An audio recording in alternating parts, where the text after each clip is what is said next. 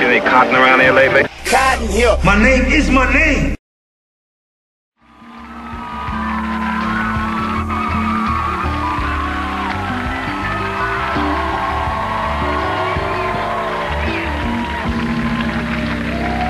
Our next guest became a film icon in the 70s with his role as the Mack.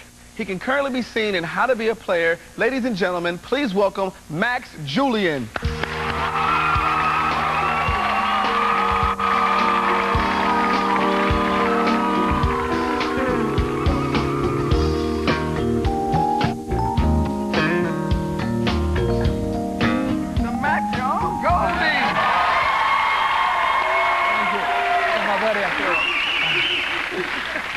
Thank you for joining us, man. Thank you very much. Oh, I'm happy to be here, man. Now, what, uh, what, what inspired you to that poem? What inspired you? Um, that came from a real vision. I mean, actually, Tupac actually came to me. It's a very sad moment to say it, but uh, the first vision he came about was when um, when Biggie was uh, taken away. I actually saw Biggie in a, in a body bag going back to New York and whatever. The next time he came to me, he was scratching his head. I mean, this is clear as I can see you.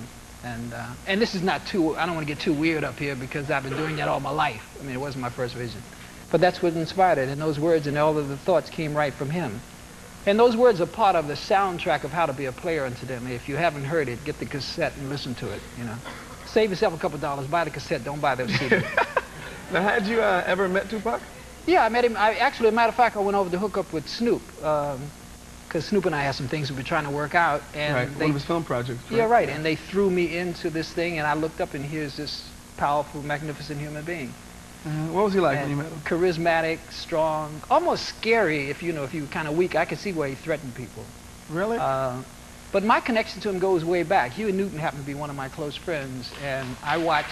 Yeah. Hey, you can give it up. Yeah. Yeah. Yeah. Yeah. You yeah. You, you can give it up to him. Uh, so I had a connection with him because you know Geronimo Pratt was his godfather. was so- Tupac's godfather? Absolutely. Oh, really? Oh yeah, and his mother is Afeni. And Afeni, if you're watching this, I love you to death. Thank you for bringing Afeni.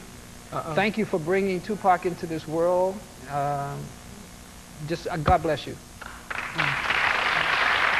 What do you, um, you know, you mentioned the, uh, the Biggie murder. Uh, do you think those murders were related? Do you think there was some kind of connection? Yeah, I, yeah. I always think there's a connection when I when one of us is assassinated. Um, but see, yeah. But let, let's not lose sight of you know, Tupac and Biggie brought national attention because they happen to be visible people. But we get killed every night, you know, in, in, in all of the cities throughout the world. And what the press does is they pick this up and they magnify it, you know, and you know, East-West conflict and all this kind of stuff. Right, Before it was just black man killing black man or Hispanic killing Hispanic or whatever. So yeah, there's a conspiracy on the back end of it because they want us to kill each other. You know, and, and while I got this moment, and you know, whether you're going to keep it or not, I don't know, but one kills what one does not respect. And when someone tells you long enough, let me finish, when someone tells you long enough that you're an inferior being and you start believing it, and then you go to school and they tell you in the school that it's okay to kill something that doesn't count, then it's okay to kill that person who looks like you. So we have to readjust that. Okay, we got to readjust that. It's very important. That's beautiful. Well, thank you for being with us. I hope you do return, especially after those films you, you told me about the James Conn one and the Snoop Doggy Dogg one. So you come back? Oh, I'll come back. Yeah, I'll come All right. back. Yeah. Good, good, good. I want to thank all of our guests. Gayle King, we're going to watch the show. Thanks. We're going to blow up and bring back that Life magazine. Michael Moore, you're going to do a piece for us, right? That's right, I'll be back. All right. All right. I'd like to thank all of our guests for being here. DJ Pooh as well, Snoop and Nate Dogg.